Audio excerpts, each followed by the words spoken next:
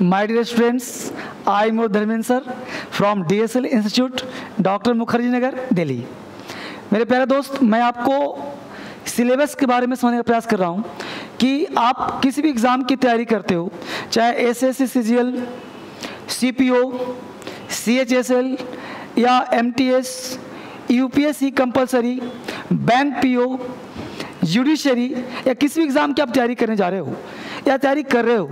तो आपको मैं इंग्लिश के बारे में इंग्लिश का सिलेबस के बारे में, मैं आपको समझाने का प्रयास कर रहा हूँ। तो सबसे पहले, पढ़ने से पहले, कहीं भी सेंटर ज्वाइन करने से पहले, यह जानना है कि हम लोगों को पढ़ना क्या है और पढ़ना कैसे जाना कहाँ है और चलना कैसे क्लियर तो सबसे पहले मैं सिलेबस की बात करूँ तो सिलेबस तो आप कोई भी किसी चीज़ में ले लो तो आप ये जानो कि कौन से एग्ज़ाम में कितने मार्क्स से पूछे जाते हैं। तो बेटा, आपका जो एसएससी एस सी की बात करूँ तो इसमें tier one, tier two, tier three.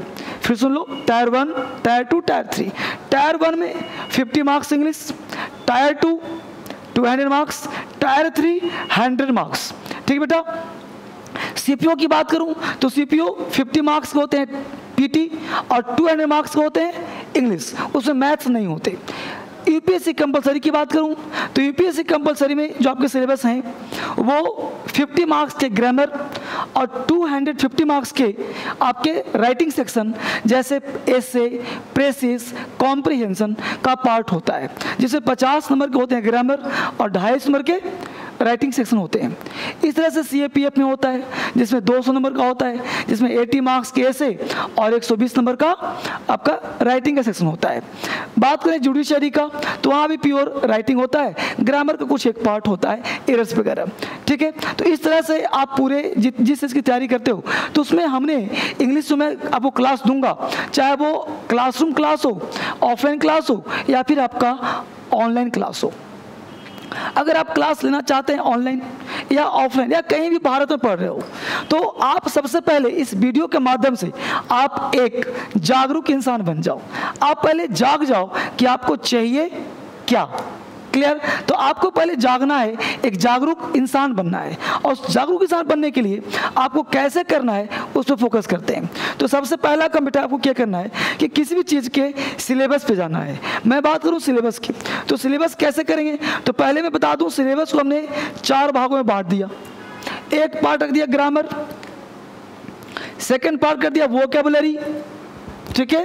पहला पार्ट ग्रामर फिर वोकेबलरी और थर्ड पार्ट ऑब्जेक्टिव जिसमें मल्टीपल चॉइस होते हैं, चार ऑप्शन और फोर पार्ट राइटिंग स्किल्स ठीक बेटा? अब मैं एक एक पे डिटेल से चर्चा करता हूँ आपके साथ। सबसे पहले मैं बात करूँ ग्रामर की। क्योंकि बच्चा करता क्या है कि कहीं भी पढ़ता है, सबसे पहले वो ग्रामर ही पढ़ना चाहता है। ठीक है? तो ग्रामर में आप क्या पढ़ना चाहिए? कैसे पढ़ना चाहिए? फिर मैं एक एक करके सब पे आऊँगा। पहले ग्रामर फिर वोकेबलरी फिर आऊँगा ऑब्जेक्टिव और फिर आऊँगा डिस्क्रिप्टिव जो राइटिंग स्किल्स का पार्ट होता है। तो पहले ग्रामर पर चले जाएँ। ग्रामर में सबसे पहले होना चाहिए एक बेसिक स्ट्रक्चर ठीक है? और बेसिक का मतलब ये हो जाए कि आपके पास ज्ञान हो सब्जेक्ट क्या है? ऑब्जेक्ट क्या है? वर्ब क्या है? कॉम्प्लीमेंट क्या है? क्लाउज क्या है? सेंटेंस क्या है? समझ पा रहे हो? तो हमने कहा subject object verb word clause even के भी पता होना चाहिए कि अल्फावेट और लेटर में क्या अंतर है। क्लियर तो अल्फावेट क्या है? लेटर क्या है? हर चीज़ का ज्ञान आपके पास होना चाहिए। और इसके लिए मैं जो कराऊँगा, कम से कम फाइव क्लासेस दूँगा। क्लियर? बेसिक में। उसके बाद आप ग्रामर शुरू करते हो। जैसे ग्रामर में आपने टाइम एंड टेंस शुरू किया राइट तो इतना पढ़ने का टाइम एंड टेंस पढ़ा। तो टाइम एंड टेंस लोग पढ़ते हैं ताहती है चुका, चुकी, मैं सब चीज़ पे। आप हिंदी नहीं पढ़ रहे हो। आपको इंग्लिश में काम करना है। तो इंग्लिश में सोचना है इंग्लिश में एरर बनाना है इंग्लिश में सारा काम करना है। तो टाइम एंड टेंस जैसे present tense past tense future तो इस सब पे हम लोग आराम से डिस्कस करेंगे। और कम से कम जो धर्मेंद्र सर पढ़ाएँगे वो कम से कम होगा तो 12 से 15 क्लास होगा। 12 to 15 classes tense time and tense पे दिए जाएँगे। इसके बाद पढ़ाऊँगा वॉइस वॉइस जो होता है एक्टिव पैसिव आपको पता ही होगा। तो एक्टिव पैसिव वॉइस जो कराऊँगा। ये आपके एसएससी और सीपीओ में लगभग 20 20 मार्क्स के होते हैं। तो इसमें से लगभग मैं कम से कम पढ़ाऊँगा तो पाँच से सात क्लास पढ़ाऊँगा। फाइव टू सेवन क्लासेस आपका वॉइस का होगा। इसके बाद नरेशन पढ़ाऊँगा। तो सबसे पहले क्या कहा? बेसिक फिर आपको क्या कहा? वॉइस फिर नरेशन इसके बाद नरेशन कम से कम जो है, पाँच से सात क्लास वहाँ भी लगना है। और उसके बाद क्वेश्चन टैग क्या कहा हमने? क्वेश्चन टैग और क्वेश्चन टैग एक से दो क्लास हम लोग उसका करेंगे। इतना करने के बाद सिर्फ़ चैप्टर पढ़ लिया जाए तो काम नहीं होगा। हर एक चैप्टर से, जैसे टाइम एंड टेंस से कम से कम कहा दस से पंद्रह क्लास और तीन से चार सौ क्वेश्चन वॉइस चार से पाँच क्लास पाँच से सात क्लास तो उसमें हम लोग कम से कम ढाई सौ से पाँच सौ क्वेश्चन नरेशन ढाई से पाँच सौ क्वेश्चन क्वेश्चन टैग सौ से दो सौ क्वेश्चन तो सब पे हम लोग क्या करेंगे? प्रैक्टिस करेंगे क्वेश्चन का। क्लियर इसके तुरंत बाद जब इतना पार्ट आपने कर लिया इसके तुरंत बाद फिर हम लोग क्या करेंगे कि चूँकि टेंस पढ़ लिया वॉइस पढ़ लिया नरेशन पढ़ लिया, अब आपको अंग्रेज़ी कुछ लिखना आना चाहिए। तो तुरंत मैं क्या करूँगा कि आपके लिए कुछ राइटिंग स्किल्स डाल दूँगा बेसिक राइटिंग स्किल्स ताकि आपको बीच में लिखना आ जाए। ठीक है? उसके बाद आपको कम से कम दस से पंद्रह class according to tense voice narration लिखना सिखाऊँगा। जो कि आपके क्लास का पार्ट होगा। तो उस दस पंद्रह दिन हम लोग राइटिंग करेंगे। जैसे आप एसएससी की तैयारी करते हो तो डिस्क्रिप्टिव टायर थ्री में पूछता है यूपीएससी की तैयारी करते हो? तो ऐसे राइटिंग पूछता है कॉम्प्रिहेंशन पूछता है। तो वो राइटिंग स्किल्स आपको 10 से 15 दिन वो कराऊँगा, एक पार्ट होगा। उसके बाद अब ग्रामर होना चाहिए पार्ट्स ऑफ़ स्पीच जैसे नाउन प्रोनाउन तो सबसे उसके बाद फिर शुरू करूँगा नाउन अब नाउन शुरू किया तो नाउन कम से कम पढ़ाऊँगा तो आठ से दस क्लास क्योंकि नाउन अकेला नहीं है नाउन क्योंकि noun is nothing it's the part of three chapters person gender number and case four हो गए। तो पर्सन चूँकि नाउन का पार्ट नहीं है तो नाउन जो शुरू करूँगा मैं, पहले बेसिक नाउन तो बेसिक नाउन पढ़ाऊँगा तीन क्लास उसके बाद पढ़ाऊँगा जेंडर जेंडर पढ़ाऊँगा कम से कम दो क्लास उसके बाद नाउन नंबर तीन से चार क्लास नाउन नंबर तीन से चार क्लास, उसमें नाउन केस दो क्लास। तब आपका नाउन चैप्टर पूरा कंप्लीट होगा। इसलिए मैंने कहा नाउन कम से कम आठ से दस क्लास। ठीक है? अकेला नाउन नहीं होता, क्योंकि बहुत सारे पार्ट होते हैं। उसके बाद फिर पढ़ाया जाएगा आपको आर्टिकल नाउन के बाद आर्टिकल अब आर्टिकल चैप्टर बहुत इंपॉर्टेंट है हम लोग सोचते हैं ए कहाँ एन कहाँ, दा कहाँ? लेकिन उसका अप्लाइड होगा। तो वो कम से कम हम लोग चलेंगे। चार से पाँच क्लास। ठीक है बेटा? उसके बाद प्रोनाउन पढ़ाऊँगा। तो प्रोनाउन में कम से कम तीन से चार क्लास। फिर हम लोग ले लेंगे एडजेक्टिव तो एडजेक्टिव ले लेंगे। तो जो भी चैप्टर होगा एडजेक्टिव उसमें कम से कम तीन से चार क्लास। तो एडजेक्टिव में पढ़ेंगे हम लोग क्या? डिग्री पढ़ेंगे। है ना? तो डिग्री पढ़ेंगे कि डिग्री क्या होता है। इस तरह से पॉजिटिव कॉम्परेटिव सुपरलेटिव है ना? सारे पार्ट तो एडजेक्टिव का पढ़ाऊँगा वर्ब अब वर्ब बहुत इंपॉर्टेंट चैप्टर है।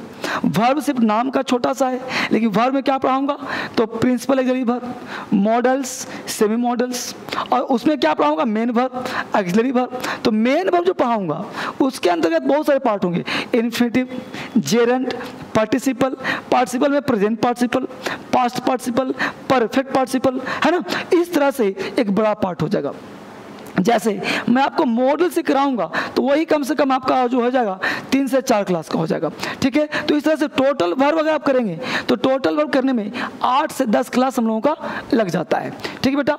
इसके बाद हम लोग शुरू करें एडवर्ब एडवर्ब की बात करें तो एडवर्ब तीन से चार क्लास ठीक है? अब एडवर्ब में क्या पढ़ेंगे? तो एडवर्ब में एडवर्ब का यूज़ एडवर्ब का कॉमन इरर ठीक है? और जितना भी पार्ट में बोल रहा हूँ, ये सारे चैप्टर्स का, कम से कम तीन से चार सौ क्वेश्चन होगा प्रत्येक चैप्टर्स का.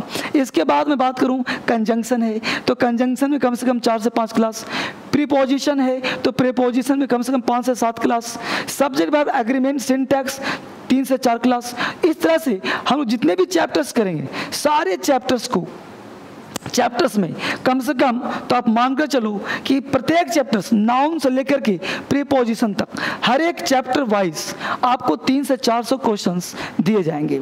इसके साथ साथ आपको सारे बुक्स भी आपको दिए जाएँगे। जैसे मैं आपको नमूने तो दिखा दूँ, ताकि बुक्स भी आपको ध्यान रहे, आप इस पर फोकस भी करते जाओ। जैसे हमने क्या को प्रैक्टिस के लिए क्या किया हुआ है, कि जैसे मान लो आपने नाउन करा तो अब यहाँ पे नाउन चैप्टर्स हो गए तो नाउन से संबंधित कम से कम दो से ढाई सौ क्वेश्चन मैं कराऊँगा, तीन से चार सौ इसमें दिए रहेंगे। इसके बाद हमने कहा प्रेपोजिशन तो हर एक चैप्टर का ऐसे बुक मिलेगा आपको। तो प्रेपोजिशन अब 600 क्वेश्चन है। तो तीन चार सौ मैं करा दिया, कुछ आपने कर लिया। इसके बाद आप वॉइस और नरेशन तो यहाँ पे प्रैक्टिस तो हर एक चैप्टर्स का हम लोग इस तरह से प्रैक्टिस करेंगे और सारे चैप्टर्स का आपको इसी तरह से बुक्स दिए जाएँगे घर पे, ताकि आप आराम से इसको प्रैक्टिस करें। अगर आप ऑनलाइन कर रहे होंगे तो घर पे बुक्स आपको मिल जाएगा, पहुँच जाएगा। ठीक है बेटा? इस तरह से पूरा सिलेबस हम लोग कंप्लीट करेंगे ग्रामर का। क्लियर अब पार्ट टू में आइए। पार्ट टू कहा था? वोकेबलरी अब भाई वोकेबलरी बिना ग्रामर का, बिना वोकेबलरी का इंग्लिश कहाँ है? तो ग्रामर भी आप पढ़ रहे हो तो वोकेब चाहिए। अब वोकेब क्या हो? तुम्हें प्रतिदिन not a single day from first class to last class मतलब अंतिम क्लास तक वोकेबलरी प्रतिदिन करवाए जाएँगे। इस तरह के वोकैब का आपको पेज मिलेगा, जिसमें 10 टू 20 वोकैब्स होंगे। ये आपको याद करवाऊँगा और क्लास में पूछूँगा।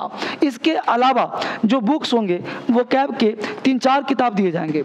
जैसे वोकेबलरी के बुक्स होंगे एडवांस वोकेबलरी उसके साथ साथ बेसिक प्लस एडवांस वोकेबलरी तो इस तरह से सारे बुक्स आपको दिए जाएँगे। चैप्टर वाइज ताकि आप बेहतर तैयारी आपकी हो जाए। और इस तरह से हम लोग वो कैबलरी पर काम कर जाएँगे। और वो कैब प्रतिदिन कम से कम 10 टू 20 मिनट्स वो कैब काम करेंगे। इसके अलावा वो कैब का मैं बना रखा हूँ वीडियो जो आपको ऑनलाइन ऑफलाइन दोनों मिलेंगे, वहाँ पे हम लोग काम करेंगे। ठीक है बेटा? अब नंबर पार्ट होता है थ्री यहाँ पे बात हमने करा, पहले ग्रामर फिर वो कैबलरी थर्ड पार्ट हमने लिया था ऑब्जेक्टिव अब इतना पार्ट पढ़ लिया। अब आपके एसएससी में सिर्फ़ ग्रामर तो पूछता नहीं। एसएससी में क्या पूछता है? Cloze test comprehension sentence rearrangement common error fill up the blanks है ना? फिल इन द ब्लैंक्स से लेकर के सेंटेंस इंप्रूवमेंट बहुत सारे पार्ट होते हैं। तो आपको जो जानने की ज़रूरत है, वो जानने की यह ज़रूरत है कि हर एक टॉपिक से, जैसे क्लोज टेस्ट तो वीक में एक दिन वीक में एक दिन उस टॉपिक को हम हाईलाइट करते हैं। जैसे मान लो क्लोज टेस्ट तो क्लोज टेस्ट को हम हाईलाइट करते हैं और उस क्लोज टेस्ट को आठ दिन प्रैक्टिस करवाते हैं। क्लियर सेम पैटर्न कॉम्प्रिहेंशन आज पढ़ाया तो उसकी आठ दिन प्रैक्टिस क्लियर उसके बाद वीक में एक दिन हर चलेगा और प्रैक्टिस आठ दिन लगातार। उसी तरह से पी क्यू आर एस कराया सेंटेंस रीअरेंजमेंट फिर आठ दिन प्रैक्टिस इस तरह से कॉमन एरर प्रैक्टिस प्लस हर दिन टेस्ट इसके साथ साथ sentence improvement class plus practice तो जितने भी एग्ज़ाम के पैटर्न होते हैं ऑब्जेक्टिव्स वो वीक में एक दिन हम लोग उसको करते हैं और फिर आठ क्लास लगातार प्रैक्टिस करवाते हैं। ठीक है? ये होगा कॉन्सेप्ट उसको राइटिंग स्किल्स पे आ जाओ। तो अगर मान लो आप यूपीएससी कंपलसरी देना है क्लियर या फिर आपको सीपीएफ देना है असिस्टेंट कमांडेंट या फिर जुडिशरी करना है तो उसके लिए क्या है कि मैं स्पेशल रूप से राइटिंग स्किल्स का एक महीने का बैच अलग से देता हूँ। अगर आपका एग्ज़ाम हो रहा है तो नहीं तो क्लास के पार्ट ही आपका सारे पार्ट करवा दिए जाते हैं। ये चार सेक्शन था बेटा सिलेबस का। इसके अलावे हर सैटरडे हमें यहाँ पे आपके लिए डाउट क्लास लेता हूँ, ताकि कोई दिक्कत हो तो आप कर सकते हो। तो इंग्लिश में होता क्या है? ऑब्जेक्टिव डिस्क्रिप्टिव ग्रामर वोकेबलरी तो लगभग सारे पार्ट मैं कवर करने का प्रयास करता हूँ, ताकि आपको कहीं भी किसी एग्ज़ाम में बैठ जाइए। चाहे वो एसएससी हो, चाहे एमटीएस हो, चाहे बैंक पीओ हो, चाहे यूपीएससी कंपलसरी हो, चाहे जुडिशरी हो, कहीं भी आपको प्रॉब्लम ना आए। ठीक है बेटा? इस तरह से मैं सारे सिलेबस को कवर करता हूँ और टोटल ड्यूरेशन कितना लगेगा सर तो टोटल ड्यूरेशन जो आपका कोर्स का होगा, वो मान कर चलो कि 80 80 क्लास लेकर के 120 क्लासेस तक आपका कोर्स जा सकता है। वो डिपेंड करता है आपके ऊपर कि आप कितने दिन में कैसे कवर करते हो। ठीक है? हम लोग क्लास में कोर्स नहीं, बल्कि बच्चे पे ध्यान देते हैं ताकि वो बेहतर तरीके से सीख पाए। ये सिलेबस हमने आपके लिए प्रोवाइड करवाया है ताकि आप इसको देखो और देख करके अपनी तैयारी स्टार्ट करो। ऐसा नहीं, कहीं भी आप पढ़ रहे हो, कहीं भी क्लास करने की सोच रहे हो तो पहले ये चीज़ जान लो कि क्या ये सारे चीज़ कवर किए जाएँगे। अगर कवर किए जाएँगे then you should join you should take my class ठीक है? It's all for today thank you very much